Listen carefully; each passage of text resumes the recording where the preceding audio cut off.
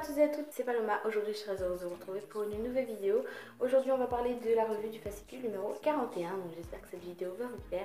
En attendant, je vous laisse avec la suite. Bon visionnage Dans ce fascicule, on a un accessoire que je n'ai jamais vu euh, jusqu'à présent. Donc, euh, que ce soit dans les fascicules ou, même dans la, vie. Voilà. En tout cas, il est très très bien emballé. Voilà comment ça se présente. C'est une petite forme de grosse pochette comme ça. Euh, ou dans cette pochette, il y a encore une pochette. Voilà. Avec le demi-pentimo menthe poivrée euh, numéro 39. Voilà. Donc une couleur qu'on a déjà eu. Ils remettent que des couleurs qu'on a déjà eu parce qu'on a déjà eu toutes les couleurs Fimo Soft. Et donc cet accessoire, c'est un tour de cou. Voilà. En métal argenté. J'espère qu'il est à ma taille parce que j'ai un, gros cou comme vous pouvez le voir. J'ai un cou assez épais. Donc voilà, c'est vraiment un tour de cou euh, ras de cou en fait pour moi. Mais normalement, il est censé vous arriver à là si vous avez un cou assez fin. Enfin bref, on va pas passer 30 ans, c'est un tour de cou où on peut faire un plastron, euh, quelque chose comme ça. Voilà, donc c'est très intéressant. J'espère que je vais trouver des idées à faire avec ce truc parce que je n'en ai jamais eu. Donc on va passer la main au fascicule en lui-même parce que c'est toujours intéressant. Enfin, ça dépend des fois. Alors, pour les techniques, on a réalisé une canne à l'extrudeur. Donc l'extrudeur, en fait, c'est une machine avec une manivelle. C'est ça, en fait, l'extrudeur. Et euh, on a différents euh, petits jetons avec des formes. Et euh, quand on tourne la manivelle, en fait, ça pousse la pâte et ça fait des formes, tout simplement. Donc, voilà.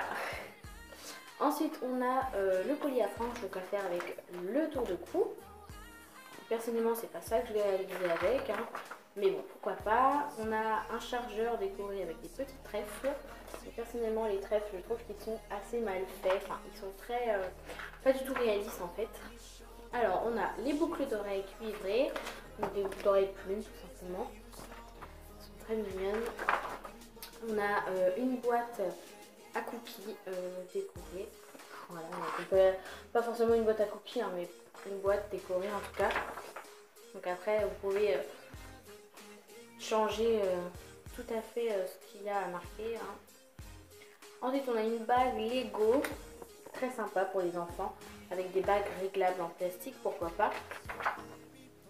Ensuite, on a Idéfix, le chien de Obélix dans Astérix et Obélix.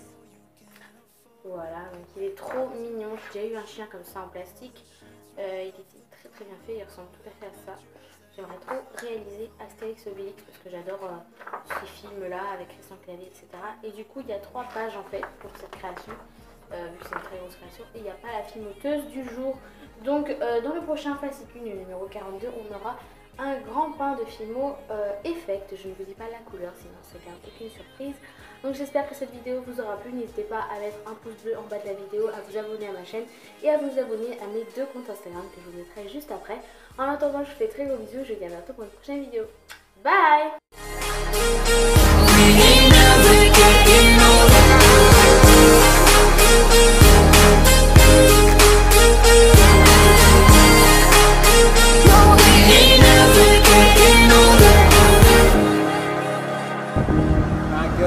good, good. And cut. That's a wrap, baby.